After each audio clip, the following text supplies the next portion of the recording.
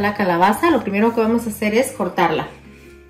Vamos a usar una cuchara para limpiarla. Esta la vamos a estar utilizando para nuestro atole de calabaza. De la forma que yo la cocino, aquí les voy a dejar un video de cómo preparo yo la calabaza así con piloncillo. Miren, está un poquito dura. Voy a usar mis manos para poderle quitar lo que son las semillas. Porque tenemos que cocinarla sin las semillas y tratar de quitarle un poquito lo que son las ah, hebritas estas que tiene aquí. Ya terminamos de sacar, miren, una parte de la calabaza. La voy a dejar que se enfríe un poquito para poderle remover la cascarita. Y la vamos a llevar a la licuadora. También, si no tienen calabaza así para partirla, que, les, que es fresca, también pueden utilizar las que venden ya en latita. No sabe igual, tiene otro sabor, pero también les puede servir.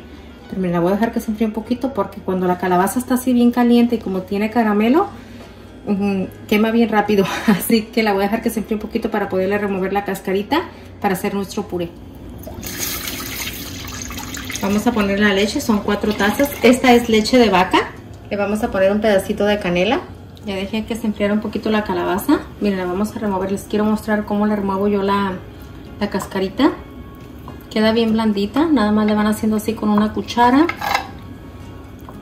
Ya le quité un poquito de más, pero traten de que no se le vaya mucho la calabaza. Y así nos va quedando. La vamos a ir apartando para molerla.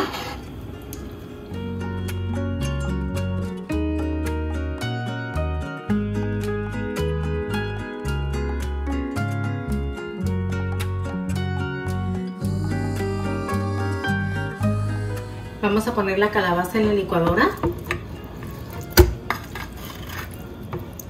Le voy a estar poniendo leche evaporada. Miren, desde esta marca otra vez me he preguntado de cuál le ponía. Es de esta la que yo acostumbro. Le vamos a poner una latita.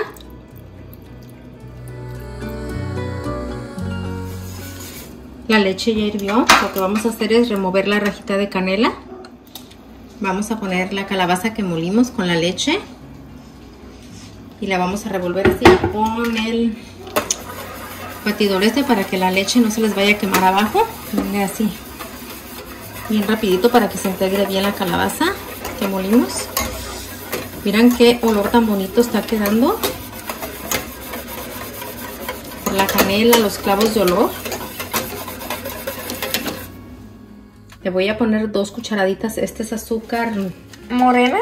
Sí, azúcar morena, dice la Sofía, esa es la que le vamos a estar poniendo y le vamos a probar porque recuerden que la calabaza ya estaba endulzada, así que ya no necesita mucho, la vamos a revolver muy bien y ahorita la vamos a probar, miren, ya está agarrando el espesor, como vieron la harina que le puse, así que ustedes miran, depende de lo espeso que lo quieran y recuerden siempre, la tole después de que se enfría se hace más espeso. Ahora sí, ya hirvió. Le vamos a apagar. Miren el colorcito que agarra. Así amarillito. Lo dejé reposar por 10 minutos y este es el espesor que está agarrando.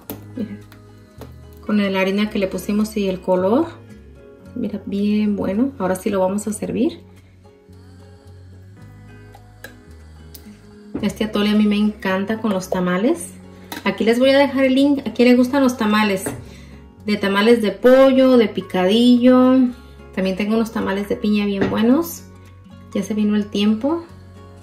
Ven qué rico para acompañarlo con tamales, con un pan dulce. Ahora sí, lo vamos a probar. Lo dejé que se enfriara un poquito porque recuerden que la atole siempre es bien caliente. Acompáñenme a probarlo. Mm. Este atole me quedó bien bueno.